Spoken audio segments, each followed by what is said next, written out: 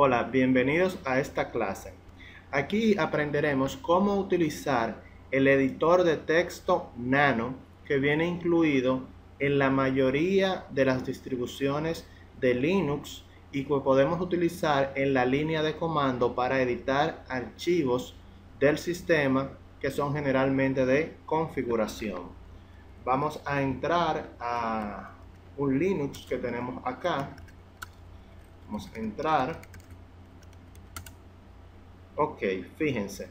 ¿Cómo se ejecuta el comando? Usted puede simplemente escribir la palabra nano. Existe otro editor que digamos es el primero, que es el VI. ¿Ok? El VI es el primer editor que existe en la línea de comando de Linux, pero que para muchos es muy complicado de utilizar. Entonces, lo que estamos haciendo en, este, eh, en esta clase es enseñándoles el editor que es más amigable y que utilizan la mayoría de personas actualmente llamado Nano. Entonces, vamos a limpiar la pantalla y vamos a escribir nano solamente. Si escribimos nano solamente, inmediatamente vemos que se nos abre una pantalla negra, ¿ok? Una pantalla negra y que acá abajo, acá abajo donde estoy sombreando, hay un grupo de informaciones que me dicen a mí para qué sirven. ¿Qué pasa? Estas informaciones están en inglés, están en inglés pero realmente son fáciles de aprender. Esa flechita hacia arriba que ustedes ven ahí, lo que quiere decir es control, o sea, la tecla control más la letra que ustedes ven en mayúscula. Por lo que la primera que dice control G es get help, que en inglés es conseguir ayuda. Entonces, si yo presiono la tecla control, la dejo presionada y luego presiono la tecla G, entro inmediatamente a la ayuda de eh, Nano y me da una definición y también unos, unos accesos directos a las eh, teclas. Entonces vemos aquí control G o F1, pues también funciona como ayuda. Entonces aquí abajo me está diciendo que con control X yo puedo salir de la ayuda, con control W puedo buscar, con control P puedo ir a la línea previa, con control Y puedo ir a la página previa. Eh, aquí ya este comando es un poquito más complicado. Eh, control L es refrescar y eh, esto es buscar próximo M-W y así sucesivamente. Entonces, lo importante es que aprendamos el uso básico. El uso básico, le voy a dar a control X para salir de aquí. Es que aprendamos el uso básico de un editor. En un editor usted generalmente hace una cantidad de funciones o de acciones eh, limitadas, las que son más prácticas. ¿Cuáles son? Usted escribe y graba y sale. Usted entra a un archivo que ya tiene información, busca, modifica, graba y sale. Esas son realmente las funciones que nosotros hacemos en un editor. Entonces, vamos a escribir en este archivo. Voy a salir de nuevo, control X, salgo otra vez a la línea de comando y si yo quiero ponerle el nombre desde el principio, yo puedo decir nano prueba.txt. Yo voy a crear una carpeta primero para hacer todo dentro de esa carpeta.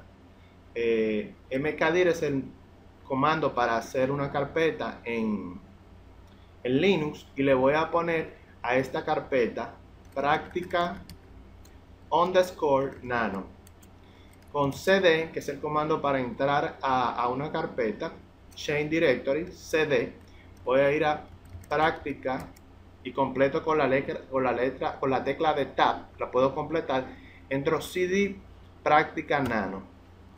Con ls veo que está vacía. Entonces aquí yo puedo escribir lo siguiente.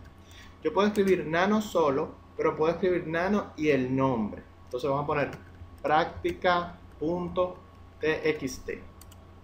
Al hacer esto, ya el archivo de por sí aquí arriba va a tener el nombre. ¿Ok? Va a tener el nombre. Entonces, acá yo lo que voy a hacer es lo siguiente. Yo voy a buscar un texto y lo voy a pegar para no, eh, digamos que, perder mucho tiempo. Vamos a decir aquí, ¿por qué no? Historia, editor nano. Comandos, editor nano. Vamos a escribir esto. Entonces vamos aquí, a esta página que no, no la conozco, simplemente lo hice de manera eh, de prueba ahora mismo cuando lo acabamos de, de ver y vamos a buscar un párrafo, algo aquí. esto es texto. Vamos a cerrar esto, aceptar y seguir. Bien. Entonces, este también podría ser una ayuda. Todo esto que está acá yo lo puedo pegar en un, emulador como el PuTTY o cualquier otro, haciéndole clic derecho. Yo hago clic derecho sobre eh, la pantalla, ¿verdad? Yo estoy conectado con un PuTTY de forma remota al servidor de Linux y fíjense cómo se pega todo. Obviamente en estos editores de texto a nivel de comando no tenemos lo que se llaman los los estilos, dígase negrita, etcétera. Eso, ese tipo de cosas no están. Entonces vamos a ver el comando de buscar que es control W, o sea, este que está aquí, miren. Control W. Entonces con control W, él me abre una pantalla e inmediatamente yo puedo eh, buscar y yo voy a buscar la palabra Linux. Linux. Enter. Entonces me encontró la palabra Linux. Si yo quiero eh, buscar de nuevo, escribo control W de nuevo, pero ya él aquí tiene la palabra Linux. O sea que yo solamente debo presionar enter de nuevo. Yo voy a escribir otra vez Linux para que él haga la búsqueda. Aquí voy a escribir Linux y luego voy a escribir Linux acá para hacer una búsqueda seguida. Entonces, control W, Linux, control W, Linux, control W, Linux. Y él sigue buscando, ¿ok? Y ahora vamos a eh, grabar el archivo. Para grabar el archivo podemos hacer dos cosas grabarlo y salir con control O o podemos, eh, perdón, podemos grabarlo con control O o podríamos decirle salir y a la hora de salir él nos preguntaría si lo grabamos. Entonces vamos a grabarlo con control O. Control O, él me da el nombre del archivo confirmando que ese es el que vamos a grabar.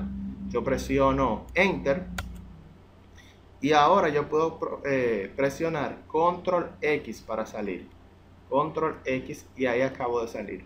Si yo quisiera editarlo de nuevo, otra vez escribo nano práctica. Y aquí tengo el archivo. ¿Ok? Y así yo puedo eh, buscar dentro del archivo. Puedo modificar y puedo grabar. Con control X yo salgo y con control o yo grabo. Control W me permite, eh, control W me permite eh, buscar. Ahora vamos a ver este comando que está acá, que es control barra, que dice reemplazar. Entonces yo le doy control, presiono control y busco esta barra que está aquí. Ustedes ven acá, ¿saben? Control barra. Entonces me dice, ¿cuál eh, texto voy a buscar? Voy a buscar el texto Linux. Y ahora me dice con qué lo reemplazo. Entonces yo voy a cambiar Linux por eh, sistema operativo Linux, por esa palabra, lo voy a cambiar. Entonces presiono Enter, ¿ok? Al presionar Enter, él me, da cuatro opciones. Reemplazar ese solamente, no reemplazarlo, eh, reemplazarlo todos y cancelar. Entonces, cada una de esas letras yo la puedo presionar. En caso de que quiera cancelar, tengo que eh, presionar eh, control C. yo voy a presionar con eh, solamente la A para entonces modificarla todas. Presioné la A y fíjense que aquí ya dice sistema operativo Linux, sistema operativo Linux. Y aquí dice para sistema operativo Linux. ¿Ok? Entonces, ahora yo puedo otra vez salir con control X. Pero al yo darle control X y al haber hecho una modificación, entonces él me dice, mira, esta modificación, ¿tú quieres grabarla? Dice, conteste no para descartar. Si yo presiono la Y de sí, que la voy a presionar, él me dice, lo voy a grabar con ese nombre de archivo. O sea, práctica.txt. Yo podría, yo podría en este momento ponerle otro nombre y crearía un segundo archivo. Yo voy a ponerle otro nombre aquí, práctica 2, por decir algo, y ahora presiono Enter. Me dice, eh, me pregunta, ¿lo vas a grabar con un nombre diferente? Entonces yo presiono Y para decirle que sí. Entonces ahora yo hago ls, perdón, ls, y fíjense que ahora tengo dos archivos. El primero, que era de práctica, y el segundo que es práctica 2. Nosotros podemos también eh, abrir solamente el nano sin ponerle nombre. Podemos eh, igual pegar un texto aquí, por ejemplo este texto que yo lo, acabo de copiar. O, vamos a borrar esto. Vamos a borrar esto. Eh, vamos a poner el mismo texto de ahorita o otro párrafo que sea un poquito más largo. Aquí vamos a tomar este párrafo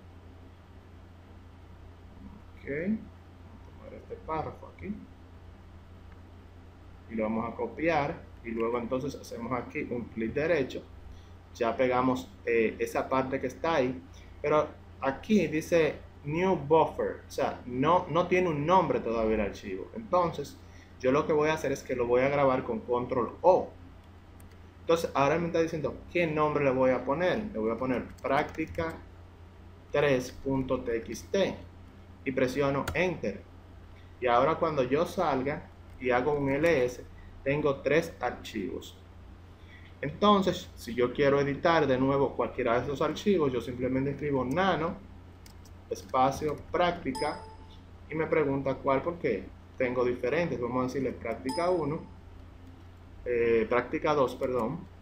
Entro, hago mis modificaciones y puedo salir, grabar y salir. Bueno, hay un montón de opciones en el, en el menú, pero solamente quería mostrarle las que son más utilizadas. Ya ustedes saben que tienen la ayuda, hay un montón de tutoriales, de manuales, más bien en internet y pueden profundizar en el uso, en el uso de Nano.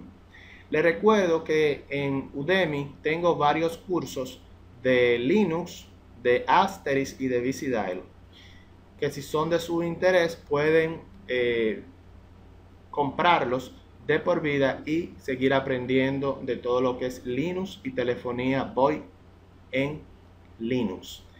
Espero les haya gustado este video. Por favor suscríbanse al canal, denle a la campanita para que reciban una notificación cada vez que subamos un nuevo video. Denle like y compartan. Bye bye.